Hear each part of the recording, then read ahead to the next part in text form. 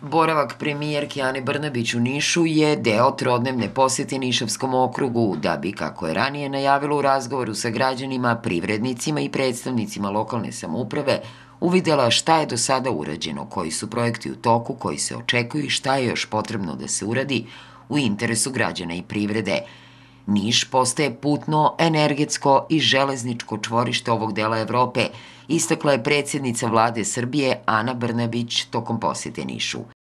Ali sve ono što je do sada urađeno u Nišu je mali deo onoga što će tek da se radi. A, u kom smislu?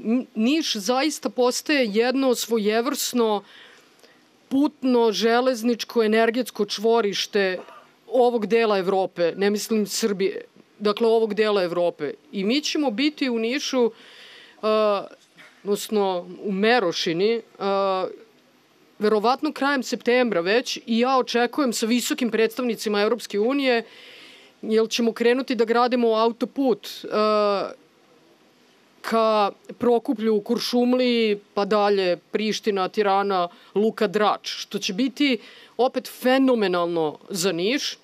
Premijerka je posetu započela obilaskom Niške banje. Nakon toga je obišla i arheološko nalazište Medijana.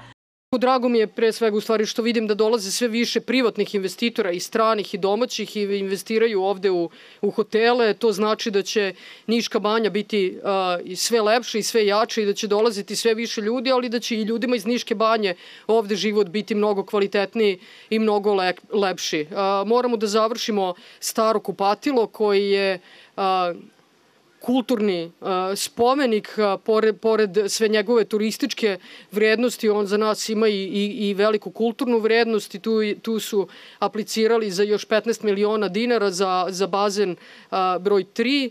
Uh, tako da radimo polako, rešamo jedno po jedno. Ali meni je drago da se banjski turizam u Srbiji konačno ponovo budi, da imamo sve više banja, da je konkurencija između tih naših prelepih banja u Republici Srbiji sve jača i to će nas terati da budemo nekako, to, to takmičenje međusobno će nas terati da više ulažemo i da se bolje staramo.